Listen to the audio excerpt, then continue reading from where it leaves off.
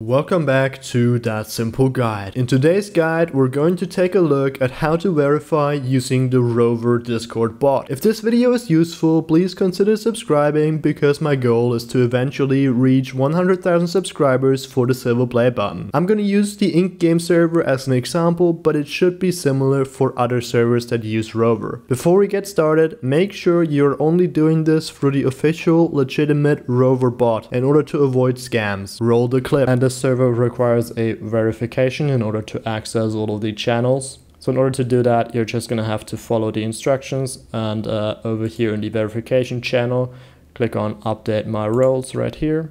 And if you haven't linked your Roblox account before, you're gonna have to verify your Roblox account. So let me click on this. Okay, so over here, what I'm gonna do is click on this pink login with Discord button, and that will then redirect me to Discord.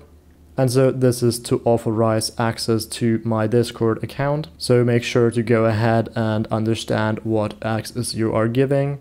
And then once you're okay with that, go ahead and click on authorize. Okay. And that will send us back over to Rover. So the next step is to um, read and check off each of these um, items right here. And then as you can see, you can go ahead and click on continue. Okay, and so the next step is to link your Roblox account. So we're gonna have to click on login with Roblox. Now make sure you have the right Roblox account selected and uh, yeah, click on continue like so. And so here Rover is requesting access to the Roblox account and so here you can see the details of what that entails. So make sure you understand that and if you're fine with that, go ahead and click on confirm and give access.